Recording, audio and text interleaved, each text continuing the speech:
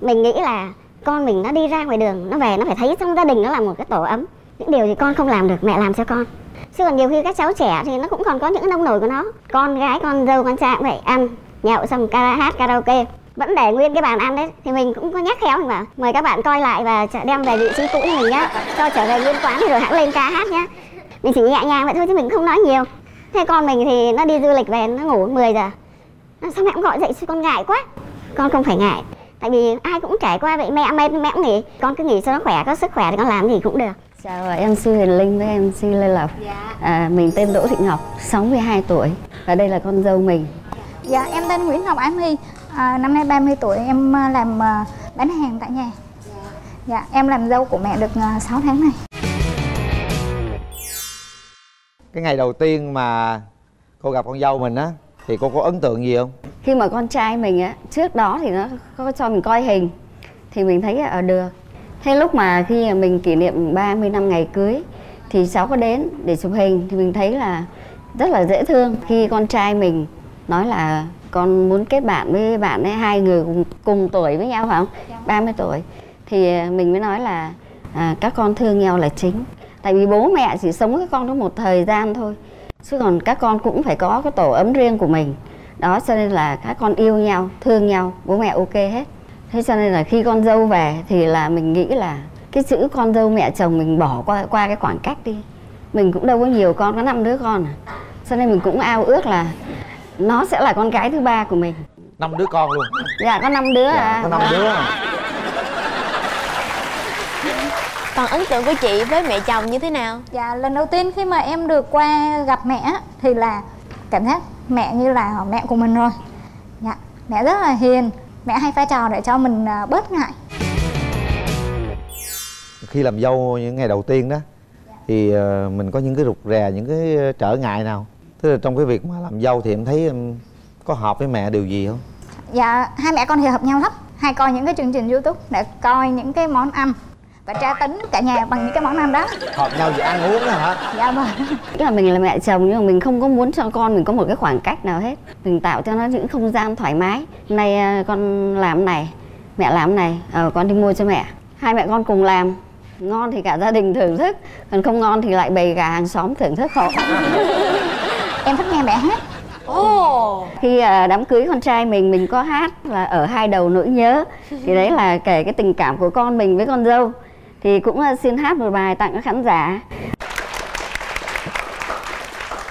Đêm nghe tiếng mưa rơi, Đêm mây chiều hạt đời Mà dư với nỗi nhớ. Ở hai đầu nỗi nhớ, Yêu và thương sâu hơn. Ở tình đậm thắm hơn. Em giới thiệu không sai đúng không? ngọt ngào quá trời luôn. Rồi khi nào hai mẹ chồng với thằng dâu xong ca với nhau không? Dạ không em hát dở lắm Hát con dâu toàn đuối hàng không toàn gục không à dạ. Có những cái hợp nhau nhưng mà thấy tính tình mẹ con có cái gì mà mình cảm giác là chưa hợp nhau không? Mình nghĩ là con mình nó đi ra ngoài đường nó về nó phải thấy trong gia đình nó là một cái tổ ấm. Những điều gì con không làm được mẹ làm cho con chứ còn nhiều khi các cháu trẻ thì nó cũng còn có những cái nông nổi của nó. Con gái, con dâu, con trai cũng vậy ăn nhậu xong kara hát karaoke. Vẫn để nguyên cái bàn ăn đấy, thì mình cũng có nhắc khéo mình bảo, mời các bạn coi lại và đem về vị trí cũ như mình nhá. Cho trở về nguyên quán thì rồi hãng lên ca hát nhá. Mình chỉ nhẹ nhàng vậy thôi chứ mình không nói nhiều.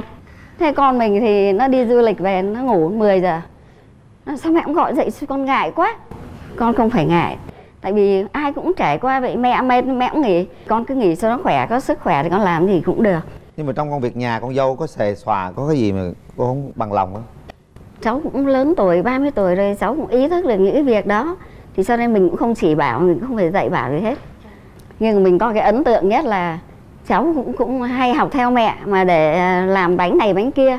Thế hôm kỷ niệm 31 năm ngày cưới của hai vợ chồng mình thì cháu bảo là mẹ con mua bánh kem chứ bảo không bánh kem đắt tiền ăn chẳng ngon. Vậy mẹ con làm bánh chuối nhá.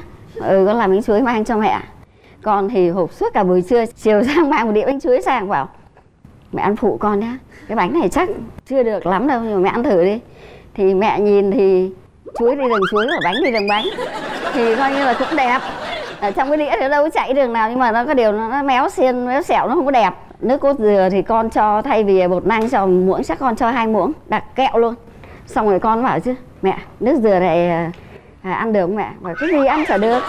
Nhưng mà con chưa biết à, làm thế nào cho nó khỏi đặc. Thế mình bảo này cái này dễ còn hơn con thỏ chui vào hang nữa. Con cứ phải cho thêm nước vào thì nó loãng ra còn nếu đặc nó không ăn được thì con lại đi nấu cái khác mang về. Cái này là do là em đã biết trước rồi và thế nên là em đã bảo với mẹ chồng em mẹ con làm dở lắm á mẹ à, mẹ ráng mà mẹ ăn hết đi. Hai mẹ chồng vui ha.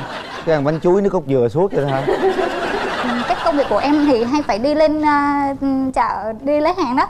Thì có ghé ngày hôm qua chợ bến thành em có biết một cái chỗ nó bán bánh khoai mì rất là ngon. Và lần đầu thì em mua về làm quà thôi nhưng mà cái chồng em bảo là mẹ thích ăn lắm á thế là nào em đi chợ em cũng mua về một phần. Người ta còn chút xíu người ta ăn thì thế rồi lại à, mềm lòng quá rồi lại à, vâng cô à, cô bỏ hết vô cho con. Từ yêu thích khoai mì bây giờ thành ra như là khoai mì bị à, tra tấn tự nhiên Dạ. nghe sợ rồi. Ngán quá nghe chữ khoai mì là sợ rồi. Thôi bớt bớt mua khoai mì với bánh chuối nước cốt dừa cho mẹ nha. Thì à, một thời gian sau á mẹ em bảo là cấm không được mua bánh khoai mì dưới mọi hình thức. Bây giờ mẹ thích ăn bánh gì nữa?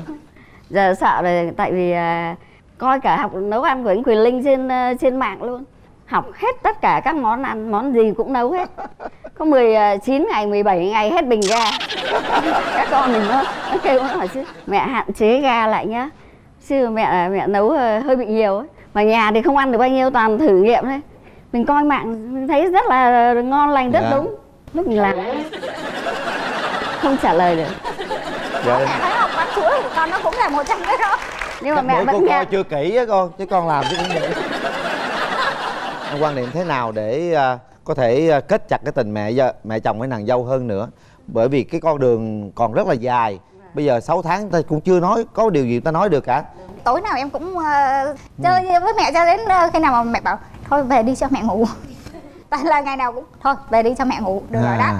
lúc đó thì chồng em với lại em với lại hai đứa cháu mới đi về. À tôi Dạ. qua tâm sự để ba mẹ hiểu à, hai mẹ con hiểu nhau hơn hả? không không phải tâm sự. Mà qua để ăn ké cơm tối. Trời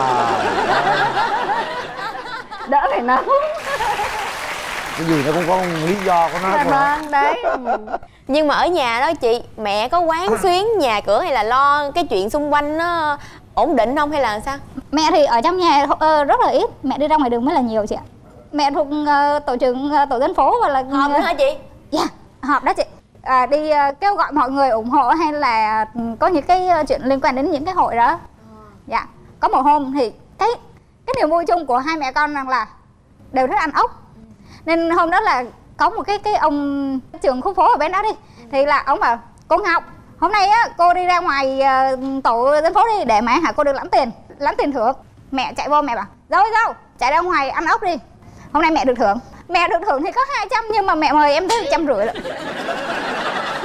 hai mẹ con này rất là thân nhau nhiều khi là em em thèm cái gì cái em nói mẹ sáng ngày hôm sau là được đáp ứng liền nhưng mà nhiều khi có những cái hôm á cái canh mà mẹ mang qua cho em nó có những cái vật thể lại ở trong đó những cái ống hút bị cắt nhỏ ủa sao kỳ vậy hai đứa cháu nhỏ nó chơi nó uống nước không nó để cái ống hút đó thì mình đâu có nhìn thấy mình cắt rau mình rửa xong sạch sạch sạch gió nhanh nấu nó lúc con ăn bảo chứ ủa sao mẹ sao lại có cả ống hút trong này? Cái con mình lại bảo "Sao mẹ mẹ hôm nay mẹ thông minh thế. Mẹ lại còn trang trí cả những vật thể lạ trong cái bát canh nữa. Bảo rồi trang trí gì? Con kiến nó nổi lên thì mình đâu nhìn thấy tại mắt mình kém. Hai mẹ con thấy cũng rất là hợp nhau đặc biệt là chuyện ăn uống ha. À, chắc ký cũng ngang là- nhau ha. Chắc có thể là bây giờ em ờ, hơn mẹ chút xíu. Hơn mẹ chút xíu hả? Giờ phải hai mẹ con tập thể dục cho nó xuống xuống một chút nha này là sẽ hứa khi mà Hả? sanh em bé xong. À. Đang Dạ. đang có em bé hả? Dạ em được 21 tuần. Qua cái câu chuyện hôm nay thì à, mẹ chồng có mong muốn con dâu một cái điều gì nữa không để cho cuộc sống nó tốt đẹp hơn? Dạ, thì cứ mong muốn là cháu là cứ giữ những cái tính nết như vậy. Sống rồi về sau có con cái thì lo lắng cho con cái vậy thôi. Vâng. Còn chị chị có mong muốn mẹ chồng cái gì đó không mẹ thì mẹ bị đau chân. Mà thường xuyên là hả mẹ cứ đi ra ngoài mẹ làm những cái công việc ở trong ờ, tổ dân phố hay là mẹ làm những cái công việc mà người ta vừa mới gọi có đánh nhau cái là mẹ em chạy tới. Mẹ em chạy tới mẹ em can đó chị. là à, là Ồ, vậy can tốt chứ có gì đâu em.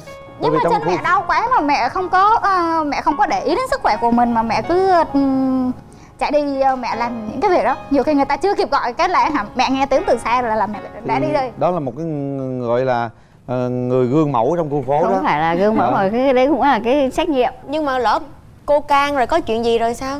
Đâu có chuyện gì không có ai dám mà đụng đến mình hay đánh nhau á. Nhà mình ba con trai và đứa nào dám sợ đụng nhà mình. Nhưng mà người ta nói người ta đang nóng mà em em nói nha. Cái ngày hôm mà em nghe chồng em kể em nghe rằng là cái vợ chồng nhà đó đánh nhau.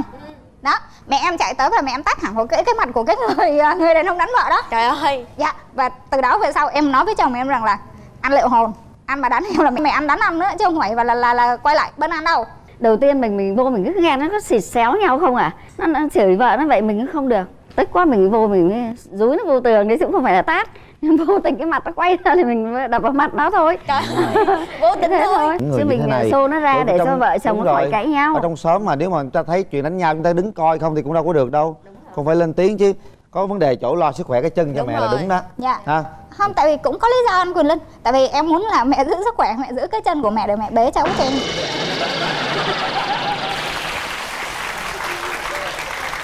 có lý do hết á. Đấy có lý do hết lý do qua thăm mẹ để ăn chiều. rồi. Chúng ta để xem à, chồng của em à, nói gì nha. Thì con mong mẹ là luôn luôn là khỏe mạnh luôn luôn được bình an và giữ sức khỏe thật tốt cũng hạn chế à, à, đi lại nhiều tại vì chân của mẹ dạo này thường xuyên hay bị đau. Thì con cũng muốn mẹ là có sức khỏe, sức khỏe thật tốt để sau này còn trong cháu cho giúp cho tụi con. À, còn đối với vợ thì à, thì anh mong em là luôn luôn giữ sức khỏe thật tốt để sinh cho anh một đứa con thật khỏe mạnh. À, và anh mong muốn là em sẽ luôn luôn đồng hành cùng với anh trong suốt những chặng đường còn lại đó là những cái điều mong muốn của à, con trai cũng như là con à, con dâu. Ha nói cho mình cũng phải giữ sức khỏe cô. Bao giờ thì cũng thế thôi sức khỏe thì là phải giữ rồi để còn Dạ. con cháu cháu nội cháu ngoại nữa. Đôi khi vì cái nhu cầu của đời sống của cái tổ hay là cái an ninh thì cần đến mình thì mình phải đi thôi chứ Dạ, các con thông rồi. cảm cái chuyện đó. Con hứa với mẹ rằng là con sẽ giữ sức khỏe thật là tốt để mà có thể sanh cho mẹ một thằng cháu nội mập mạp dễ thương. Rồi hai mẹ con ôm nhau cái nào mong rằng à, những cái nụ cười này những cái ôm chặt này những cái điều này mẹ con sẽ gắn chặt nhau suốt cả một cái cuộc đời nhé chúc cho cô thật nhiều sức khỏe chúc cho mẹ tròn con vuông chúc gia đình hạnh phúc nha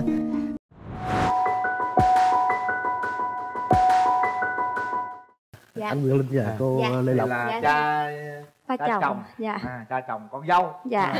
Wow hiếm khi thấy ba chồng con dâu lắm nha. Nào giờ là mẹ chồng không à? có có một hai lần gì dạ dạ hiếm. À, bây giờ xin mời mình giới thiệu về mình. Xin giới thiệu với ờ, anh Nguyễn Linh và cô Lê Lộc. Dạ. Ờ, tôi là Trần Văn Tài ở Đức Hòa Long An. Dạ. Hôm nay được ờ, rất vui được tham gia chương trình.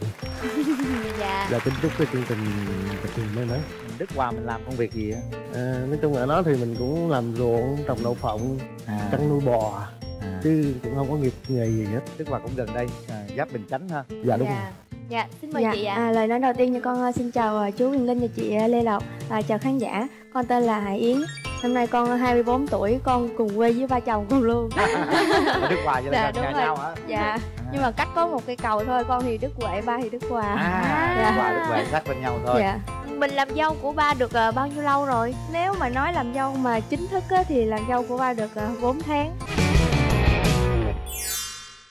cái ngày đầu tiên mà cha chồng gặp con dâu mình á có ấn tượng điều gì với cô gái này không? Lúc mới gặp lần đầu tiên á thì mình cứ tính là bạn bè của con mình thôi. Bạn bè của con cũng đông lắm mà mới đầu lúc đầu mình tính bé nào như bé nấy thôi. Dạ. mình cũng tiếp đẩy như y nhau thôi chứ mình không có phân biệt là người nào sao sao hết á. Dạ. Rồi tới chừng mà con nói rồi đó là bạn gái con lúc đó mình mới tách ra. Mình để ý bé này chứ nhiều hơn cái bé kia.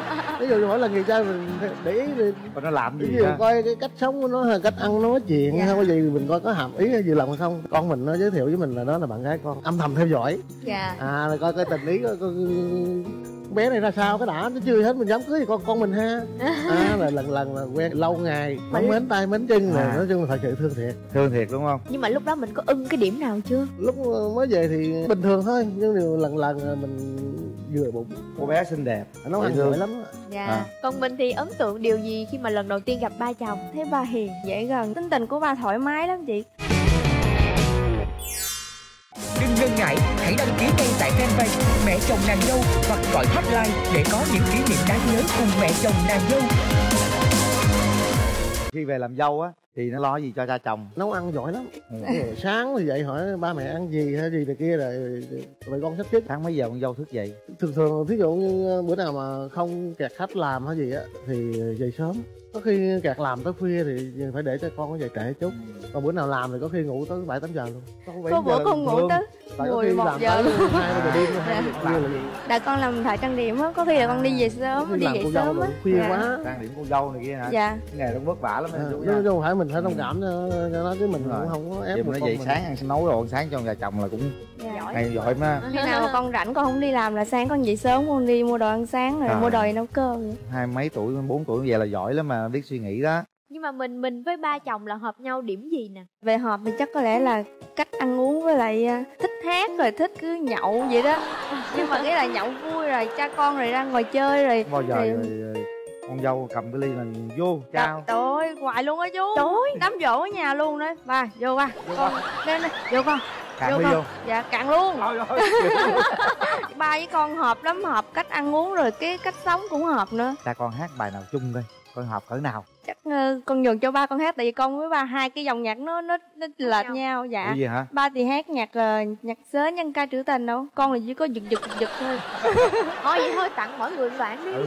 ba Ví dụ, trước đi ba. tôi thì tôi chỉ dòm chữ tôi hát được chứ tôi không có thuộc Để nó Ba câu hát nào một đó thuộc đoạn đi thôi, một đoạn thôi. Dạ. ừ. anh Quyền Linh với cô Lê Lộc muốn tôi hát cổ hay hát nhạc Hát cái nào mà chú thuộc á, cho dễ chú không bây giờ tôi lên đây thì sở thích của hai cô tôi cổ đi nghe cổ đi. Dân miền tây mà. À Huệ Dạ. Huệ là Vậy mình thử vô câu dòng cổ ha. Đúng rồi. mà có hay dở cũng đề nghị cho vỗ tay ha. vỗ tay trước luôn. vỗ trước em ơi tôi không phải kẻ tình si cũng không phải là lạng tơ mượn đó đào kia để tương tư hình bông mà chỉ băn khoăn với trái tim rung động khi lần đầu tiên hạnh ngộ với hoa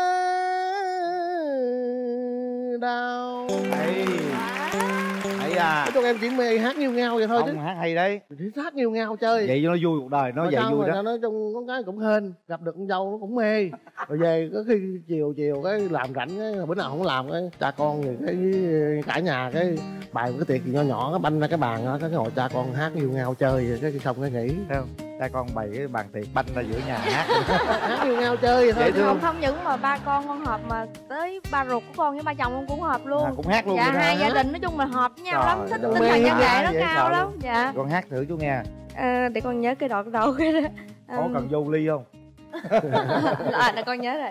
Chịu một mình trên phố năm xưa Lật bước giữa đêm đông người Lại vùng lưng anh bước qua đây Rồi ấm con tim lẻ loi. Nụ cười hoa anh vẫn đam mê Đôi môi anh vẫn thở nào. Tình anh còn ngân Người em thương nhớ một cái gì đó thôi. Trời ơi chiều mà vô ờ, lắm. nhà chồng với ờ, dâu rồi vô ba. Bữa nào mà ly xong rồi lâu lâu mà không hát Nhà, nhảy. nhà con hát hoài à. buồn lắm. Có khi không thì nhiều cái cha con lớp nhau gom lại với vợ chồng gom lại cái lâu lâu hai ba bữa có mình bài ra cái gì ví dụ lẩu hay gì cái mình ăn xong cái hát đám nha giải bữa nào rủ lên lê lộc xuống ờ, quốc chập nha. Nếu quyền linh với lê lộc tới nhà tôi thì nếu mà quyền linh muốn. Qua qua cầu ánh sáng đi xuống dưới dạ sát bên nè Ờ, chú? à dạ. Có khi có khi tối tụi con đứa phòng vậy nè cái ba ôm cái đàn guitar đi gõ cửa từng phòng Bảy- cái vừa đàn vừa hát vậy đó. Dạ. vui quá vậy. Đó gia đình có cái máu nghệ thuật như thế á, thấy nó đỡ có căng Dạ, thẳng nhiều lực, hơn đỡ dạ. áp lực hơn. Dâu nó lo cho vợ chồng dữ không? Cũng khá ổn. Chung có, make up cho vợ chồng bữa nào ví dụ mình ăn uống mà thấy ăn không được á. À. ờ, nó- bà bên đây muốn ăn món gì đổi món hay gì được. Có cái là ví dụ sáng dậy hỏi bữa nay ăn cái gì cả nhà mình ăn cái gì rồi được cái đó. Làm make up mà đúng không? Dạ. Ờ, có khi nào trang điểm cho ông vợ chồng rồi cắt Dạ. tay chân rồi lo rồi sắc đẹp trong nhà chồng không? Nói chung là quần áo thì có dụ con không có nói ra mặt dụ đi mua đồ, nói, cái này con thấy hợp với ba nè mẹ. Đó, cái là mẹ mua. Đó, còn một lần make up thì chắc bữa nay là lần đầu tiên con được make up cũng vậy. tại bình- thường là ba con đẹp sẵn rồi đâu cần make up tóc khỏi make up rồi đó. Dạ. bữa nào cũng về con make up cho ba một bữa cho đẹp bữa ha. Dạ. dỗ quải gì đó thử coi lên đồ của nó sao. Rồi ba con đám giỗ là chuẩn bị sẵn sàng lắm. Ba con có mấy cái đôi ủng rồi ha rồi nón cao bồi luôn ha. Mỗi lần mà bắt đầu mà bạn ba mà lơ lơ là bắt đầu thay đồ cái là ra làm trang phục khác hát bài khác liền. Trời dạ. Nhiều ngao ở quê sớm chơi thôi. Hát vậy hay rồi chứ tụi linh hát đâu có bằng vậy đâu. À, chú linh chú linh thử linh trổ tài cho ba con nghe thử thử câu. Qua phượng đón ai mà nở ngay trước ngõ. Cánh nhỏ bay bay đâu đó sân trường quá. Dịu dàng nhìn ai hay soi gương đời mua hoa chính đỏ. Như sai ước mơ dịu dàng nhìn em. Cũng uh, tài tử thôi cho nó vui thôi mà. Con nhìn vô con thấy hai cha con này quá hợp nhau đúng luôn. rồi. Như là hai cha con ruột luôn á. Chủ yếu là vui vẻ sống khỏe rồi chính Chứ, rồi. ờ, có gì không hợp không con? Không hợp thì chắc là không có chú ơi thật sự luôn á. Là không có luôn. Kiểu như hôm nào mà con mà con làm biến không không nấu ăn á cái bơi bữa đó mình ra ngoài mình ăn đi bữa nay ăn cơm riết ngán quá. Cái là ba dắt cả nhà đi ra ngoài ăn. Không chú thích Dạ. á thật sự chú thích một cái gia đình như thế. Dạ. cha chồng hay mẹ chồng cũng như thế. Vui cởi mở thông thoáng chân thành mộc mạc chất phát những cái điều đó nó ngọt ngào lắm. Mà nó tự nhiên nữa con hả? Dạ. có bao giờ cha chồng giận con dâu không? Nói chung có hồi cũng giận. Có giận nữa hả? Giận là lý do vậy có những lúc mình đi làm về trưa đó đói bụng đi. Mà con nó không có nấu cơm. Rồi quạo chứ lúc đó đâu là quạo lắm á. Luôn hỏi nấu mì ăn. Nấu mì ăn là cái ờ, ăn xong rồi mình nằm rồi mình hút thuốc hay mình uống cà phê gì đó. Rồi mới suy nghĩ lại tại con mình kẹt làm chứ không phải bỏ mình. Mà thật sự nó đang mắc đăng điểm sao nấu cơm cho mình ăn được à, rồi thế đó suy nghĩ là thôi. hiểu thôi cái đó cũng bỏ qua. Bữa nào giận quá cái- bài hết giận gì đâu. Cái đó là cái ờ, có khi làm tới chiều xong cái nấu mì ăn xong cái đi làm tiếp xong cái nói thôi bữa nay cũng, cũng làm đi kiếm một chút ít thôi. Cha con mình đi ăn đi khỏi nấu ba ơi. Ừ, dễ đi, thương đi. quá. Vậy thôi cái vậy con cái- à, không cha thích con gì nhau ở, đi. ở cha chồng con. Hình như là không có luôn á chú. có luôn Dạ. hả? Hai cha con mình có biết được cái tật xấu của nhau không? Ba không có tật xấu không có điều tối ba ngủ phải chiên ngái thôi. Cái nào Ba- ủa mình ờ, ngủ riêng ờ, là hồi đó thì ờ, kiểu như ba thích cha con đồ ngủ chung mà tối nói chuyện rồi đứa nào vậy ngủ đó. riêng hết á dạ không có cho ngủ riêng ủa thì ngủ trong nhà trời cái ở dưới Rồi. quê thường sàn này đúng không tối không muốn đứa con nào mà ngủ riêng chỉ có sau này cưới rồi bắt đầu mới Rồi, tụi rồi con mới ở riêng. À. dạ. mà không phải là riêng nữa chung cái nhà vậy thôi ngủ phòng riêng thôi. phòng riêng kiểu tối rồi trước khi Ở ngủ nói chuyện vậy á cho đứa vui thôi. Ừ. dạ rồi bây giờ tôi đưa đang nuôi đứa cháu chắc ở 10 năm có rồi dạ đứa cháu đó cũng không có dính líu gì hết á là bạn của con tôi thôi tại thấy nó khổ quá là tôi nuôi vậy thôi. Ba thương người lắm. Nuôi đang đi làm thôi tại bạn của con con tôi. Hôm nào nuôi hai này rồi mới thôi nuôi nổi đâu. Nó đâu cũng ăn nhiều gì đâu. Thôi. Dạo này con làm khó khăn lắm. Đây là một câu chuyện rất là vui. Cô Linh nghĩ rằng là cha chồng với con dâu như thế là đã gắn cái tình yêu thương với nhau rất là chặt rồi. Dạ. chúng ta thoải mái với nhau. À, có chuyện gì cứ nói thẳng với nhau nghe để chúng ta thông cảm và yêu thương nhau. nói chung là cha con từ hồi cưới về tới giờ cũng chưa có gì để nói với nhau hết á. Năm ba bữa mà mà không ăn chung không ca là tôi hơi buồn. Cảm ơn à, ông già già già, già Dạ chồng. Rất nhiều. Dễ thương rất là nghệ sĩ ha. Một cô con dâu à, rất là gọi là năng động. Một con dâu rất là thông minh khéo léo luôn á. Tôi nghĩ rằng à, cái mối lương duyên giữa cha chồng với nàng dâu này là hay lắm. Dạ. nói chung là cha chồng nhiều khi khó khó gần gũi. ba con dễ lắm. Nhưng mà đây là người cha chồng dễ. Còn mẹ con có dễ như ba không? mẹ con dễ như ba vậy luôn dễ hơn luôn.